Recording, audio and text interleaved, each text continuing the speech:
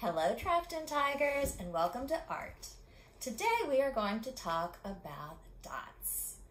Now I'd like to introduce to you an artist named George Seurat. You may have seen this picture before, it's very famous. It is made entirely of dots. That's right, every single little paint stroke is a dot. And all those dots with all those different colors, when you take a step back, make a beautiful painting of a day in the park. Here's a close-up of one of the figures in that painting. And as you can see, as I bring it closer to you, you can see it's made entirely of dots. And when you bring it back, it looks just like a regular painting. This is called pointillism. And today we're going to do our own pointillism. I want to show you one more painting. This is a painting by Paul Signac. He's French, and he too made this painting entirely of dots. This painting is in our Museum of Fine Arts in Houston. So next time you go to our museum, take a look at this tree. It is so beautiful. It actually glows when you see it in person. All right, today we're going to read a story by Peter H. Reynolds. It's called The Dot. You may have read this before. Is one of my favorite books. I just love it. It teaches you that anybody can be an artist. All you have to do is start out by making a dot. So get your markers or your crayons ready, get a piece of paper, and we are going to make our own dots today. Art class was over, but Vashti sat glued to her chair. Her paper was empty. Vashti's teacher learned leaned over the blank paper. Ah, a polar bear in a snowstorm, she said. That's exactly what we have. Everything is all white. Very funny, said Vashti. I just can't draw. Her teacher smiled. Just make a mark and see where it takes you.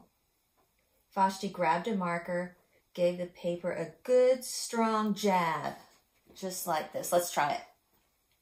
There. the teacher picked up the paper and studied it carefully. Hmm. She pushed the paper toward Vashti and quietly said, Now sign it. When we get together, guys, I'm going to ask you to do this a lot. Put your put your name on your artwork, but I want to see your artist signature. Here's mine. It's nice and fancy. Can't even read it. That's my artist signature. Now it's a work of art. Vashti thought for a moment, well, maybe I can't draw, but I can sign my name. You guys can do that. If you can't sign your name yet, just, just draw the first initial of your name. Mine begins with a C. The next week when Vashti walked into art class, she was surprised to see what was hanging above her teacher's desk. It was the little dot she had drawn, her dot, all framed in gold. Look, all of a sudden, it's a masterpiece. Hmm, I can make a better dot than that. She opened her never before used set of watercolors and set out to work. Vashti painted and painted and painted. A red dot. Do you guys have red at home? I don't. I'm going to use orange. a red dot a purple dot, a yellow dot, a blue dot. I'm going to use green because I can't, I don't have any of those colors. The blue mixed with yellow, and she discovered that she could make green. Vashti kept experimenting lots of little dots in lots of many colors. Let's try that. Just lots of little dots, like our painting today. All those little dots that made up one big beautiful painting. There we go. Vashti even made a dot by not painting a dot. Oh, wow. Look at that. Let's see if we can do that.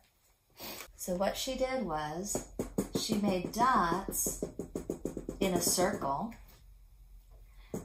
more dots around that circle,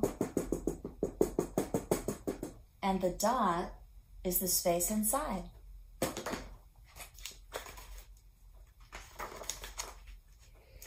At the school art show a few weeks later, Vashti's many dots made quite a splash. Vashti noticed a little boy gazing up at her.